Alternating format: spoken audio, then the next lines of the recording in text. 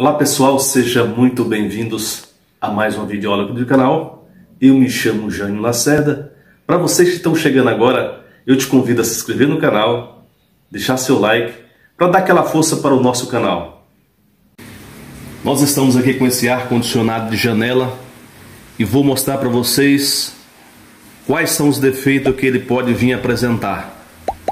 Os principais defeitos que esse ar-condicionado pode apresentar, pessoal, são esses aqui, ó. Que eu vou mostrar para vocês nesse momento. Primeiro, capacitor de partidas para o ar-condicionado. Esse capacitor, pessoal, é um capacitor duplo e dá partida tanto para o motor ventilador quanto para o compressor. Ele sobrecarrega, então ele queima muito capacitor. Segundo aqui, pessoal, chave seletora. Essa chavinha aqui, ó ela liga e desliga o ar-condicionado manualmente. Por isso que é chamado chave seletora mecânica, porque o acionamento dela é manual. Terceira, pessoal, termostato de temperatura, ela controla a temperatura do ar-condicionado.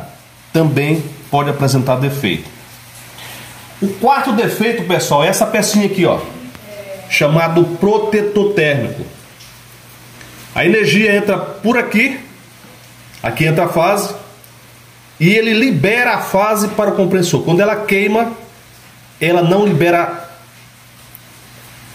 não libera energia para o ar condicionado. Então essa peça aqui também é possível de dar defeito.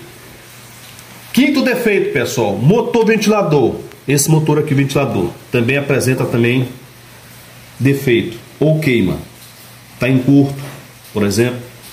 Sexto defeito, pessoal: compressor, que é o coração do sistema. Quando esse coração para, também apresenta defeito, porque ele pode estar em curto ou travar. Então, esses são o sexto defeito. Então, esses são os principais defeitos que um ar-condicionado de janela pode apresentar, pessoal.